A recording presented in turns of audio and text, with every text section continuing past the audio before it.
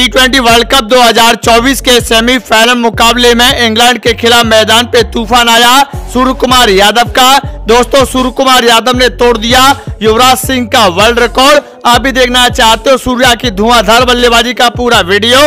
इस वीडियो को एक लाइक करिए। चैनल को सब्सक्राइब करिए बेल आइकन दबाइए और नोटिफिकेशन पे क्लिक करना। बिल्कुल ना भूलें। दोस्तों, टीम इंडिया ने सुपर एट में तीन मैच खेले और तीनों मैचों को जीत करके टीम इंडिया ने सेमीफाइनल का टिकट कटवा लिया। उसके बाद टीम इंडिया और इंग्लैंड के बीच में सेमीफाइनल मुकाबला खेला गया बार बारबाडोस के मैदान पे, जिसमें पहले बल्लेबाजी करते हुए टीम इंडिया ने बनाए दो सौ चौवन रन और अब तक का सबसे बड़ा स्कोर था, जिसमें सूर्य कुमार यादव ने 19वें ओवर में गेंदबाजों के परखच्चे उड़ा दिए। सूर्य कुमार यादव ने पहली तीन गेंदों पे तीन छक्के लगाए और 18 रन कूद डाले।